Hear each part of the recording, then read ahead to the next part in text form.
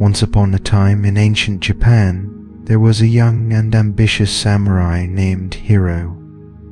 Hiro was known for his exceptional swordsmanship and his desire to become the greatest warrior in the land. One day, Hiro heard of a renowned Zen master who lived on a secluded mountain top. The master was said to possess profound wisdom and enlightenment, and Hiro was determined to seek his guidance. After a long and arduous journey, Hiro reached the mountain top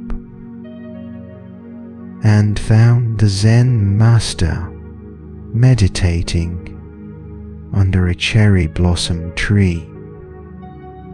With respect and admiration, here Zen master opened his eyes, looked at Hiro, and smiled, curious and eager to learn. Hiro bowed and said, Please, Master, enlighten me. Zen Master gestured towards a nearby waterfall and said, Observe the water. It flows effortlessly, embracing the path of least resistance.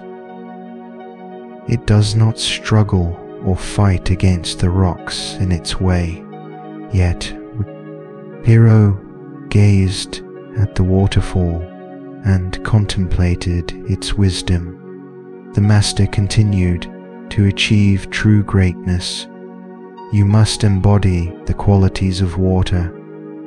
Do not resist the challenges that life presents to you, but flow with them. Adapt and overcome, not through force, but through patience and Hiro pondered the Master's words and realized the truth within them. He understood that greatness was not solely about defeating others in battle.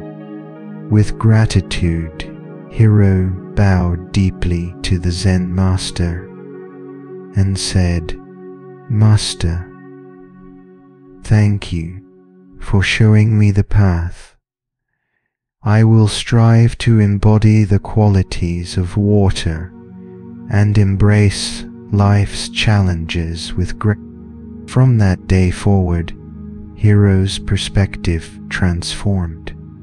With time, Hiro became not only a great warrior, but also a respected leader known for his humility, compassion, and ability to flow through life's challenges like water. And so, the tale of Hiro, the samurai who sought greatness and found enlightenment, reminds us that true success lies not only in external achievements, but also in the cultivation of our inner selves consider subscribe my channel for more videos.